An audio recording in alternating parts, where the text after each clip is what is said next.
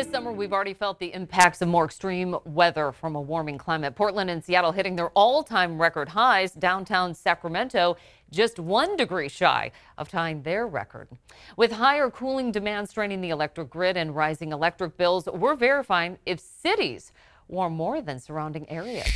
Our source is Andrew Pershing, Director of Climate Science at Climate Central, a nonprofit organization that analyzes and reports on climate science. Neighborhoods in highly developed cities can be 15 to 20 degrees Fahrenheit hotter than nearby tree lined communities.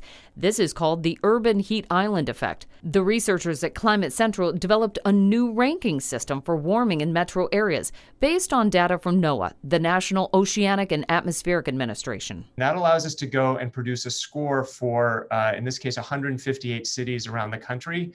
Uh, and essentially, what we're doing is saying how much hotter each of these cities are relative to a hypothetical area that, that didn't have a whole bunch of humans living in it.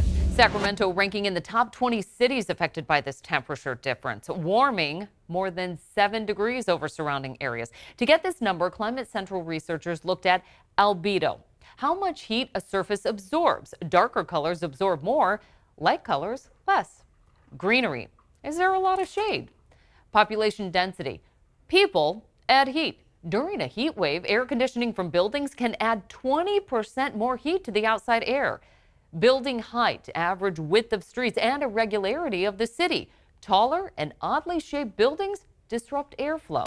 Breaking this all down, Andrew says what we're really talking about is the human induced microclimate. What have we done to change those temperatures? Parking lot, whether it's you know in downtown, uh, you know downtown Sacramento, or whether it's out in you know the suburbs or in even a rural area, is going to be hot, uh, regardless of where it is, just because it's you know a big piece of blacktop.